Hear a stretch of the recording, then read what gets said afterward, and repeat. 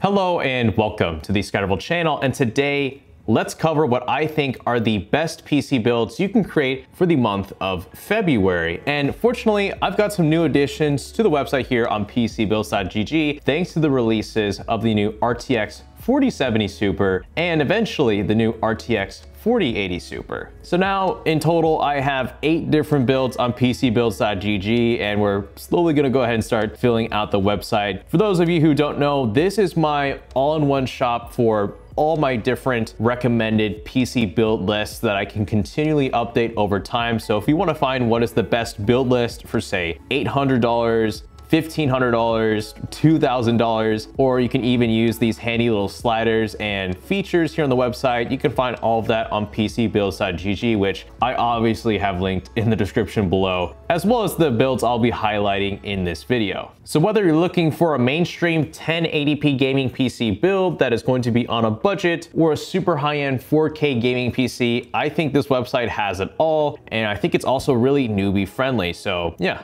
let's go ahead and cover my favorite builds for the month of February. Now, the first one I wanna cover is going to feature an NVIDIA graphics card, which at the moment, like I said, I only have one. I'm filming this video before the 4080 Super comes out, but when it does, I'm probably gonna make a 4080 Super build here on my website. But here for $1,500, I have a gaming PC that is centered around the new RTX 4070 Super because I think, all things considered, it's actually pretty decent for the price. And as you can see right now, it's selling for $600, $610.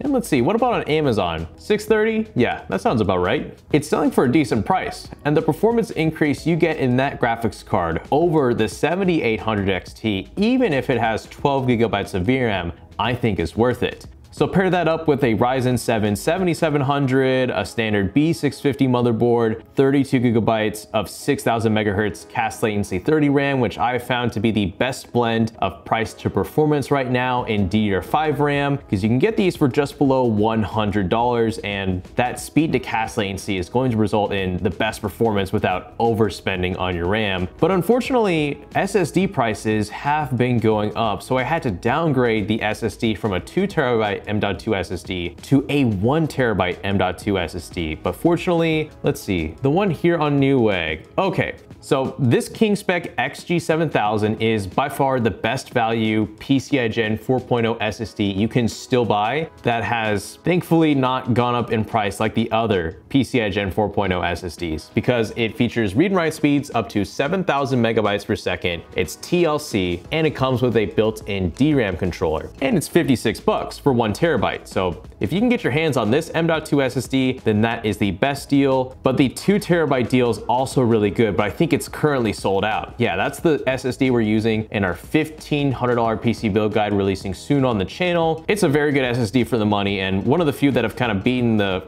current price increases in SSDs. Like on Amazon, this is the best one I could found is this Sabrent one terabyte drive. Eh, not the best. And Best Buy is not too great either because I think here you can get like a Crucial T500. Yeah, it's, it's not the best either. But then for the case, I think the NZXT H6 is still a fantastic case. The model that I have linked is this model with the three included ARGB fans here in the front. But if you want one that has no fans, that's going to be even cheaper at about $110. So you can perk out the airflow however you want, or actually it does come with fans. And then for the power supply, because you're using a 4070 Super and a 7700, you can just stick it with a regular 750 watt 80 plus gold power supply. Now I do have an AIO linked in this build, but I just want to let you know that the 7700 is so efficient and it already comes with a Wraith Spire RGB cooler. You don't need an AIO or even a custom CPU cooler if you wanted to save money, but of course it's not going to look as cool. So I have an AIO here. I might swap it out for a regular air cooler so that would make more sense for a 7700, but there's my $1,500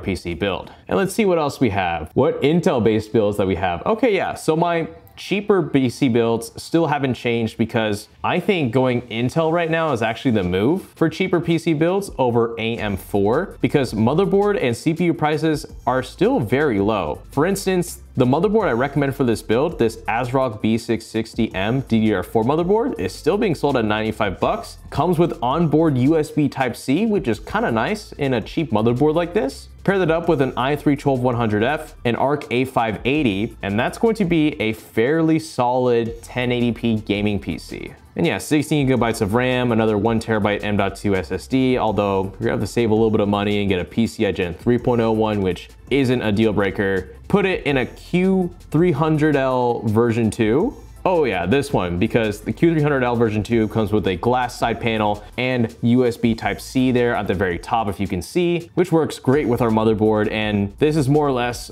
our $600 PC build from last year, just now about $100 cheaper. So this is a good budget build for 1080p 144 FPS gaming. And there's some other builds on this website. For instance, the $2,000 gaming PC build is pretty much the $2,000 PC build that we did last month in January, which I think is still pretty excellent. That's centered around the 7800X3D and the 7900 XTX. But I created a new $1,200 micro ATX PC build list that I want to show you guys. And I'm definitely thinking of making this on the channel. So this is going to be centered around a Ryzen 5 7600 and an RX 7800 XT. Because although it's been a few months, the 7700 XT hasn't gone down in price, which is kind of what I was betting on when I made my original $1,200 PC build back in September. It's still being sold for $450. And at that point, you might as well get a 7800 XT for only 50 bucks more as right now on eBay, it's selling for 500 bucks. A standard micro ATX B650 motherboard with Wi-Fi, 32 gigabytes of DDR5 memory. You know, that's 6000 megahertz. CL30 RAM is the best speed to CAS latency ratio for the money. Another one terabyte M.2 SSD that's PCI Gen 4.0. But this case here from Zalman is actually pretty neat. And they recently hit me up and they're like, hey, can we feature this case in one of your build guides? Guides? And I'm like, absolutely. So I think it's gonna happen because the P30 here, it's that dual glass kind of design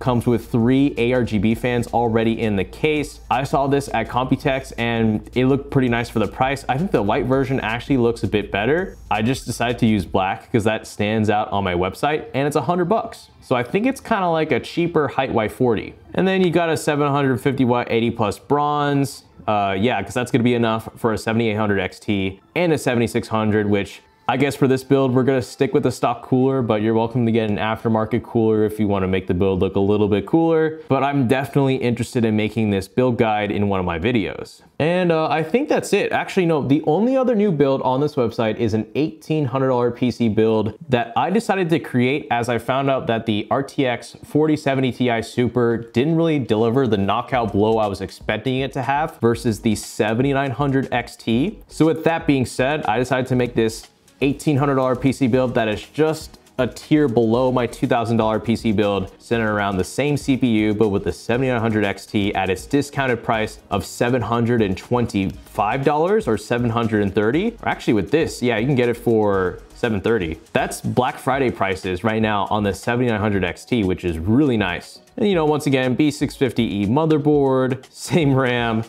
2 terabyte M.2 SSD though, which is nice. But then for the case, because I was just like, yeah, this case, it defies all modern trends, but the performance is too good to pass up for its price. The Li & Li Landcool 216 is honestly all you need for an ATX case because this has all the performance you need. The two front fans I think are what, 160 millimeters, which is a step above 140, which is already a step above 120. And yeah, it's not a dual glass, it's not a dual chamber design, but I still think it looks really clean. And you can also get this in white for the same price.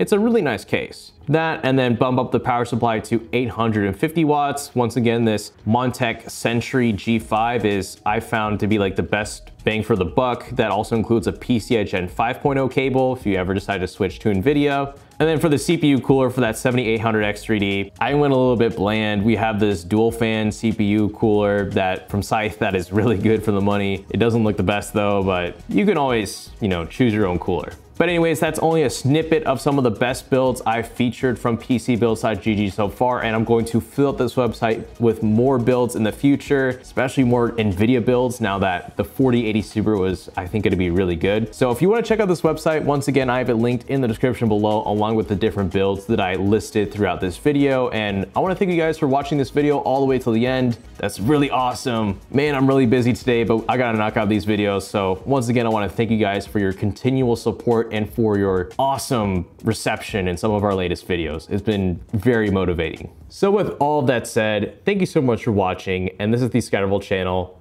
signing out.